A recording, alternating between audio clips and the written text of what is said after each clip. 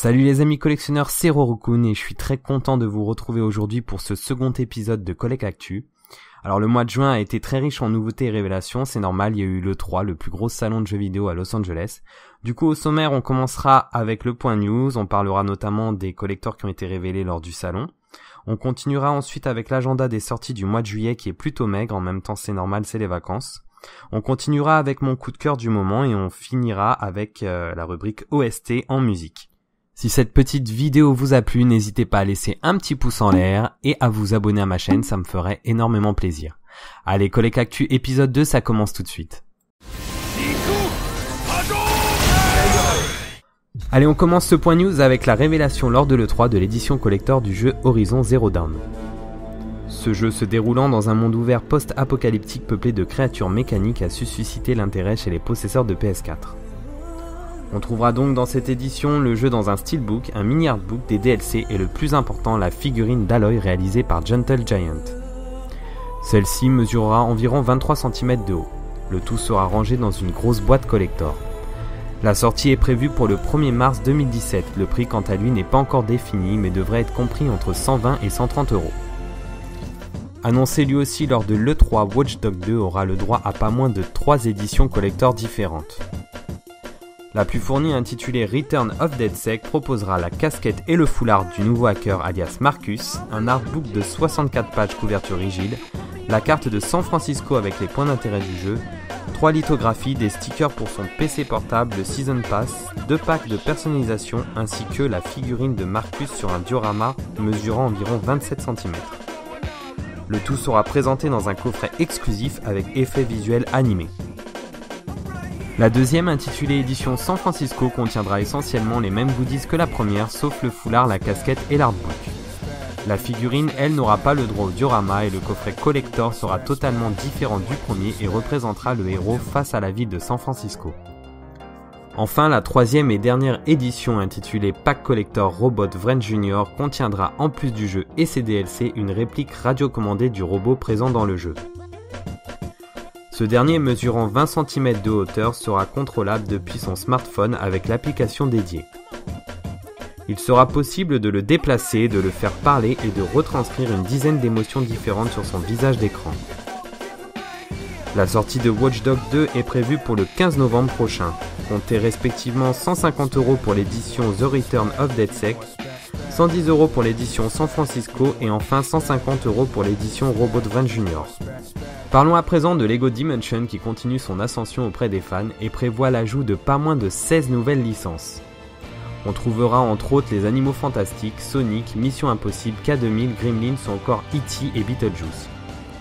Pour le moment, seuls 6 packs sont prévus pour le 28 septembre prochain. On aura entre autres le pack Histoire Ghostbuster avec le nouveau portail, les deux level packs Mission Impossible et Adventure Time, les deux team packs Harry Potter et Adventure Time et enfin le fun pack Agence Touriste. Allez, on continue avec Titanfall 2 dont la sortie est prévue pour le 28 octobre prochain.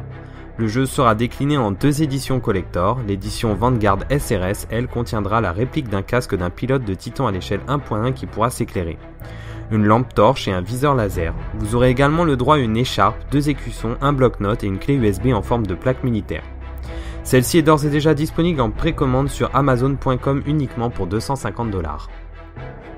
L'édition Marauder Corps contiendra un buste peint à la main d'environ 18 cm de Jack Cooper, le nouveau pilote de la campagne du jeu. A noter que la visière de celui-ci pourra s'allumer. La figurine sera accompagnée de deux écussons, un bloc-notes en métal, trois mini prints ainsi qu'un bracelet de survie. Pour le moment, cette édition n'est disponible que sur le site australien de EB Games pour environ 150 dollars US. Annoncée lors de l'E3, l'exclusivité Xbox One de Keiji Inafune Record a elle aussi eu le droit à son édition collector prévue pour le 13 septembre prochain. Celle-ci renfermera le jeu physique dans un joli boîtier steelbook, trois lithographies au format A4 ainsi qu'un décodeur d'alphabet Corbot. Mais la pièce maîtresse de ce collector est l'imposante figurine de 35 cm de Joule avec son chien robot K9 réalisé par le Project Triforce entièrement peint à la main. Pour l'instant, l'édition collector est uniquement disponible pour 180$ sur Amazon.com. Espérons avoir plus d'informations prochainement pour une éventuelle sortie française. Annoncé lors de la conférence Bethesda, l'édition collector de Dishonored 2 se dévoile peu à peu. Celle-ci sera composée d'une magnifique réplique du masque de Corvo Atano de 35 cm de haut. Dans ce collector, on trouvera aussi la bague d'Emily Caldwin, une affiche de propagande ainsi qu'un joli steelbook accompagné d'un code de téléchargement pour le premier Dishonored Definitive Edition, ainsi qu'un pack de DLC Assassin Impérial. Prévu pour le 11 novembre prochain, les précommandes sont ouvertes sur Amazon.fr pour moins de 100 euros. Décidément, cette 3 n'en finit pas de faire rêver les collectionneurs. La Palme d'Or revient à Sony avec l'annonce après 9 ans d'attente de la date de sortie de The Last Guardian. Ce jeu très poétique développé par les créateurs d'Ico et Shadow of the Colossus sortira le 25 octobre prochain. Cette édition collector enfermera le jeu dans un superbe steelbook, un artbook de 72 pages, l'OST en digital, une planche de stickers et enfin la magnifique figurine de l'enfant et son animal. Aucune info sur la taille mais à la vue des détails celle-ci devrait être assez imposante. Le tout sera refermé dans un coffret collector représentant une caisse en bois. Pour ne pas changer, toujours aucune info quant à une sortie FR, ce coffret est néanmoins disponible pour 120 dollars sur amazon.com. Croisons les doigts, mais vraiment très fort pour une sortie en France. Je sais pas vous, mais moi je craque pour cette magnifique édition. Ubisoft a dévoilé lors de sa conférence 3 la date de sortie de South Park l'Anal du Destin. Prévu pour le 6 décembre, le collector sera similaire à son prédécesseur. Il contiendra entre autres la figurine du Kun de 15 cm, trois cartes postales, le jeu en physique et le bâton de la vérité à télécharger, ainsi qu'un DLC de Servietsky, un pack de costumes et des compétences. Comptez 90 euros pour la version PC et 100 euros pour la version console sur le site amazon.fr.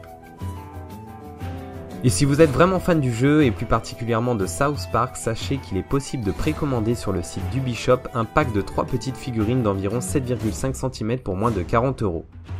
Mais ce n'est pas tout parce qu'il est aussi possible de se procurer la figurine de Mysterion pour moins de 50 euros, celle-ci mesurant la même taille que celle du Kun. Enfin, sachez que pour une précommande du jeu seul sur Amazon, un steelbook exclusif accompagnera votre jeu. On passe maintenant à Nintendo et une news qui ravira tous les fans du prochain Zelda Breath of the Wild qui promet juste d'être épique. En effet, après une longue session découverte lors du Treehouse Live, Nintendo a dévoilé trois nouveaux amiibo. On aura le droit à Link Archer, Link en cavalier sur Epona et enfin un ennemi du jeu. Ce dernier semble particulièrement imposant. Pas encore de date de sortie, mais logiquement les amiibo devraient sortir en même temps que le jeu. Allez, on termine enfin ce point news avec une nouvelle qui ravira tous les Pokéfans.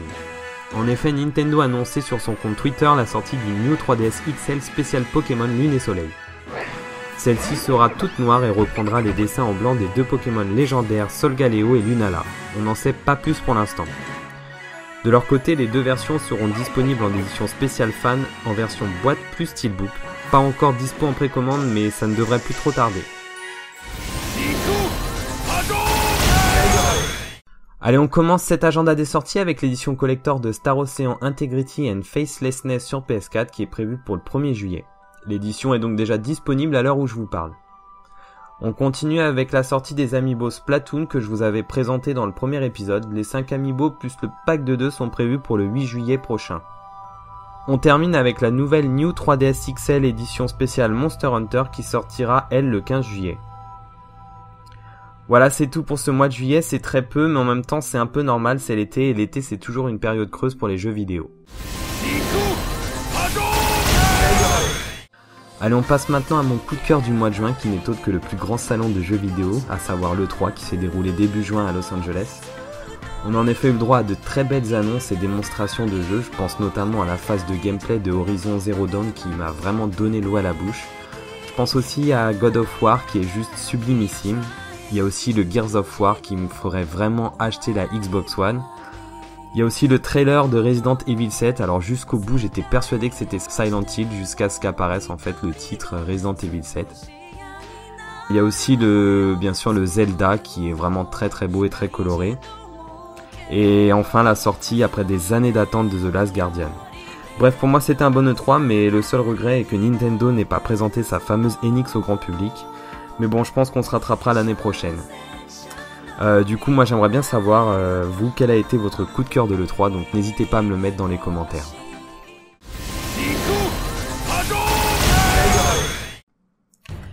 Allez, on termine ce collecte actu en musique et cette fois-ci on part sur la PlayStation 1, plus précisément sur le jeu Soul Blade ou Soul Edge en VO.